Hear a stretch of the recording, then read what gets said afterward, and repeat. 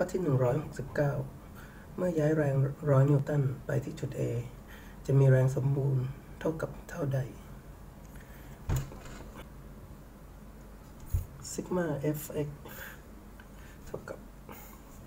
ตรงนี้แกน x แกน y จุด origin อยู่ตรงนี้นะครับ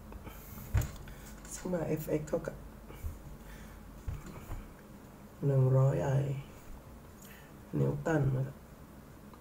ซิกมา fy เท่ากับศูนย์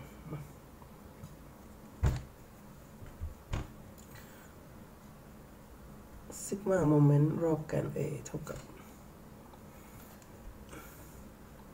100 นิวตัน คูณ 1 เมตรนะครับ ก็จะได้เท่ากับ 100 นิวตัน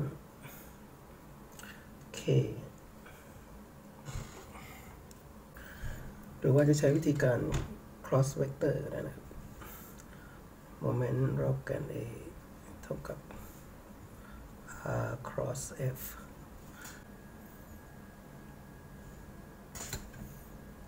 ตรงนี้เป็น vector r นะครับ เป็น direction vector นะครับ แล้วก็จุด r ก็จะเท่ากับ x y ตรงนี้นะครับอันนี้ก็จะได้เท่ากับลบ 2i นะก็แกน y ก็จะเป็นลบ 1j บวก 0k นะครับอันนี้ก็จะได้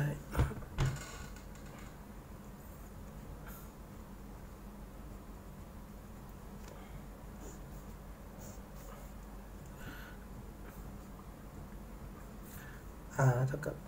ลบ 2i ลบ 1j 0k นะครับ f ได้เท่ากับ 100i 0j 0k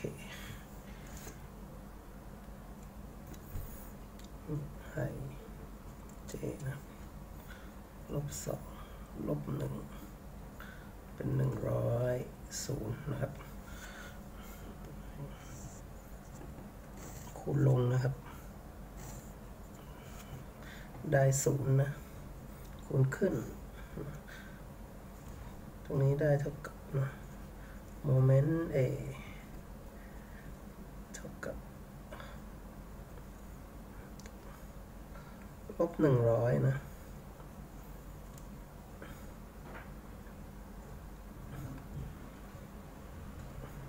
ลบลบหนึ่งร้อยเคนะครับ ศูนย์คำตอบก็จะได้เท่ากับ ลบลบก็เป็นบวกนะครับหนึ่งร้อยเคนิวตันเมตรนะครับ เราก็จะได้คำตอบ F เท่ากับ 100 I นิวตันนะครับ แล้วก็โมเมนต์เท่ากับ 100 K นิวตันเมตรครับ ก็จะมาตรงกับ ข้อที่หนึ่งนะนี่นะ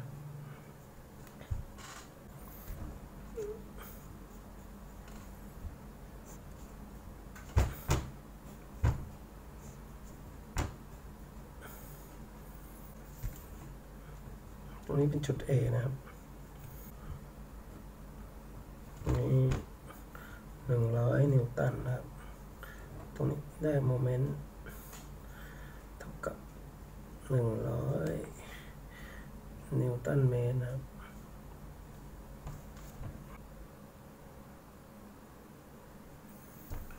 ข้อที่ 170 ระบบแรงสมมูลของแรง 500 นิวตัน ที่จุด B เท่ากับข้อใดนะครับข้อที่ 169 กับข้อที่ 170 เนี่ย จริง ๆ แล้วแค่ดูรูปก็พอจะตอบได้เลยนะครับ แต่ว่าถ้าไม่รู้ก็ต้อง แสดงวิธีทำนะครับตรงนี้เป็นเวกเตอร์ r นะครับ เท่ากับ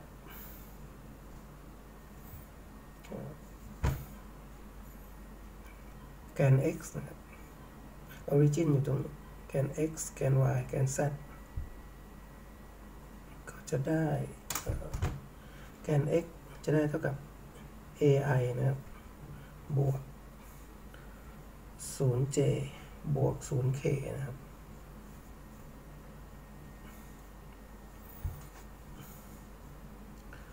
โมเมนต์รอบจุด b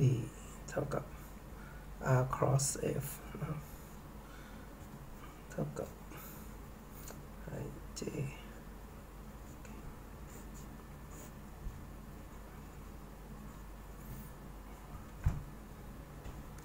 r เท่ากับ a i 0 j 0 k กับ f เท่ากับ ลูกศรชี้ลงในแนวแกน z นะครับ ก็จะได้เท่ากับลบ 500k นะ 0 i 0 j ตรงนี้จะเป็น a 0 0 0 นะครับ คูณลงนะครับเท่ากับ0อันนี้เท่ากับ0ตรงนี้ก็เท่ากับ0ตรงนี้ขึ้น0 0ครับตรงนี้ก็จะเท่ากับโมเมนต์ b ก็จะเท่ากับ ลบ ลบ500 a นะครับลบ500คูณ a นะ ก็ลบลบก็จะเป็นบวกนะครับ 500 a ในแนวแกน ตรงนี้นะครับ j นิวตันเมตรนะคำตอบนะครับ ย้ายแรง 500 นิวตันมาที่จุด B ก็จะได้เท่ากับลบ 500 นิวตัน ในแนวแกน Z นะครับ ก็จะคำตอบก็จะได้เท่ากับลบ 500 k นิวตันนะครับ ส่วนโมเมนต์รอบจุด B ก็จะได้เท่ากับ 500 aj นิวตันเมตรนะครับ